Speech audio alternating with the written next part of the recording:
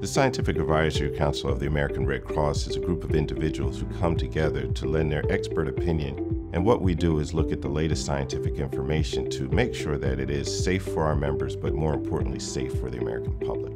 Many of the people on the council are people that I've, I've read their papers, I've seen them speak nationally. It's a multidisciplinary group of people that crosses domains from educators to researchers to medical clinicians to administrators. And it really is kind of a dream team of people who have some stake in the mission of the American Red Cross. We exist to make sure that the American Red Cross's programs are data driven. We have great information on resuscitation. We have great information on first aid. We have great information on disasters and aquatics, but we now need to know how to teach it to people.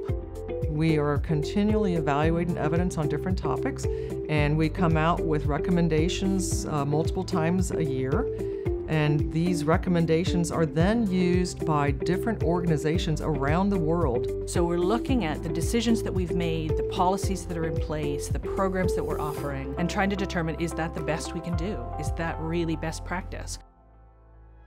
At the American Red Cross, we're trying to bring people into the idea of they can help when an emergency happens. And our effort to work with communities to effectively change people's behavior is something I'm very proud of. It's high quality instructors delivering high quality education that makes all the difference in whether the things that we do at the Scientific Advisory Council make it out to actually touch the patients we take care of. The American Red Cross mission is, in my mind, the ultimate in volunteerism to help people who are in need. Every day, I think we're saving lives. Every day, we're teaching people how to swim. It has a major impact. And I think that's why all the, the members of the council take this very seriously and do a wonderful job with it. Every time we come, we meet every six months, there's something new. And we're really focusing on making a difference. And I love that about the Scientific Advisory Council.